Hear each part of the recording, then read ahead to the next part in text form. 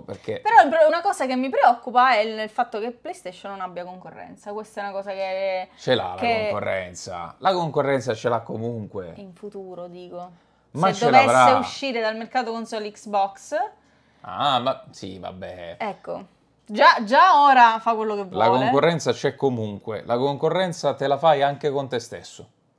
Eh, perché ora come ora ci sono anche più fonti di intrattenimento, quindi anche solo nell'ambito videoludico tu devi, Allora, fare, devi fare i conti con tante altre fonti di intrattenimento. Non è più solo videogiochi contro videogiochi. è Non che è più... io vado al negozio e posso comprare PlayStation e Xbox. Sì. Xbox in due versioni, una più- che costa meno, l'altra che costa un po' di più e poi c'è pure PlayStation. Sì. Una cosa è che io vado al negozio e l'unica console che posso acquistare è PlayStation.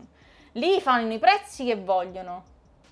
Quindi è, è diverso. Secondo me sempre la concorrenza fa bene. Dici perché non parli con- di Nintendo? Perché Nintendo quello gioca per i fatti suoi. Quindi non- Nintendo Ma non- non lo puoi sapere oggi e domani. Nintendo è sempre una concorrente, lascia stare. Sì, è una concorrente, ma non come console da casa classica. Sì, va eh, bene. da- Allora, per, prendiamo- per che poi ti fa girare i giochi nuovi. Sì, cioè, Nintendo ha un certo. altro No, ma suo- infatti è tutt'altra cosa. Infatti in Giappone si comprerebbero 7 Switch piuttosto che comprare una PlayStation 5. Ma di che parliamo? Alla fine sempre videogiochi sono. Giappone è un mercato dei diverso. Il Giappone è un mercato diverso. Siamo d'accordo, però intanto è monopolizzato da Nintendo e Sony ci deve entrare in punta di piedi ed è casa sua. Te rendi perché conto? Sony non, fa- non- non ha titoli che appetibili per il mercato giapponese. Quindi che ho detto? Che Eh. se fa concorrenza da sola. Sì, Vabbè. Auto Comunque stiamo dicendo due cose diverse. No, non Io stiamo, sono che- convinta non stiamo dicendo due cose diverse. serva. Non puoi considerare Nintendo come non concorrenza. No, io non la considero come non concorrenza in senso assoluto, però per quanto riguarda le- per la concezione di classica console da casa che ti fa girare gli ultimi giochi Eh, di, sì. gen- di nuova generazione, Nintendo ha scelto intelligentemente di rimanere una generazione indietro Sì. dal punto di vista tecnico e questo è- la rende una, una console a parte. Sì, però Ecco. poi dovendo fare i conti, tu parli di eh, fonte di intrattenimento a base di videogiochi. La gente cosa preferisce in Giappone? Switch e poi PlayStation 5. Quindi comunque Sony, indipendentemente dal fatto che sia la classica console da casa, sa che quando si parla di videogiochi in Giappone si parla di Nintendo Switch. Ma perché prendi l'esempio giapponese? E come? Perché devo Sto prendere parlando l'uni- dell'esempio del resto del mondo. Sì, vabbè, perché nel resto del mondo eh, tanti non preferiscono Switch, no? Tanti non hanno Switch, certo che ce l'hanno. E il discorso è che adesso sì, in questo periodo storico, le console devono fare i conti anche con i PC. Assolutamente, adesso sì. Certo, Eh, ovvio. quindi ovvio, la però- concorrenza c'è, ci sarà sempre.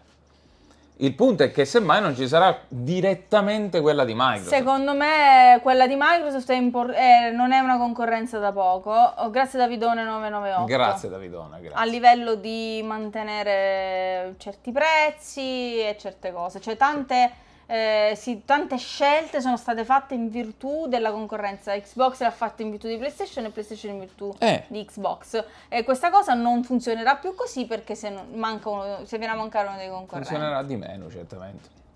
Ovviamente Nintendo, ma beh, perché Nintendo fa un'altra cosa.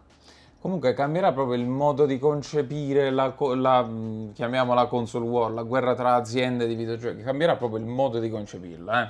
Mm. Anche perché Nintendo, oh, per adesso con Switch sta facendo così. Già ragazzi, con Switch 2 non lo sappiamo, non lo possiamo sapere. Nintendo da una generazione all'altra va dalle stelle alle stalle certe volte, eh. No- non scordiamoci, Wii sembrava che potesse stampare pure soldi, eh, Wii U un cesso. Switch bene, Switch 2 magari va benino, ma benino basterà. il fatto, boh, sai cos'è che salva Nintendo? Che Eh. siccome ti fa quella console che stampa i soldi, eh, e quindi si può permettere un fallimento. sì, ma non se lo può permettere in realtà. Se lo permette, se l'è permesso più volte nella sua storia. l'ha proprio deciso, l'ha voluto fare. Ovviamente non l'ha deciso. Eh. Che, che momento è? Non si può permettere di fallire un cazzo, Eh, nessuno si può permettere di fallire si può niente. permettere un fallimento, ma chiaramente non vuol dire che lo vuole fare. Eh, Gli succe- succede a, a Nintendo di sbagliare, Eh. recupera con la cosa dopo. Però Con- adesso la differenza è che gli azionisti stanno col fiato sul collo. Quindi se sbagli in anche una volta, no. le azioni crollano e sei fottuto. In passato no. passato sì, ma non era così immediata la cosa, non era così proprio col fiato sul collo. No, Il discorso è è, questo: così. Nintendo non vuole più fallire, non vuole più ripetere gli episodi con leggerezza Ma affrontati certo, negli anni ma scorsi. grazie, ovvio È una Nintendo fallire. diversa quella di adesso, è una Nintendo completamente diversa che si è aperta pure agli eroghe che prima invece erano super censurati, ora li censura Sony. Nintendo, Nintendo vuole non- rompere tutto proprio. Nintendo non censura. Vabbè, però al di là di questo, eh, non, non c'entra questo discorso. No, fallire con la prossima console, questo intendo, non fallire in generale. Ragazzi, per fallire, anche quando parliamo di Ubisoft, Ubisoft non è che piglia e fallisce, eh.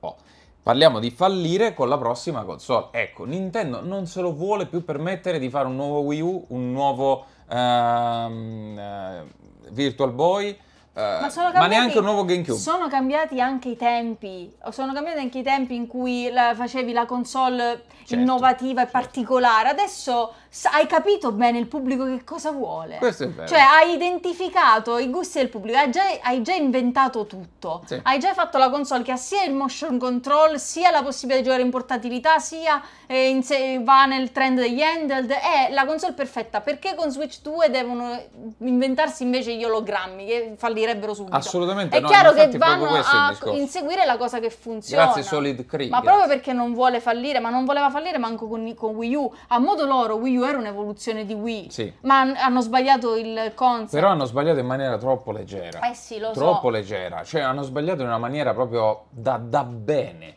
Hanno sbagliato proprio con una dabbenaggine incredibile, perché anche il più stupido dei comunicatori gli avrebbe detto: Oh, non funziona così, non stiamo comunicando bene la console, non stiamo comunicando un cazzo.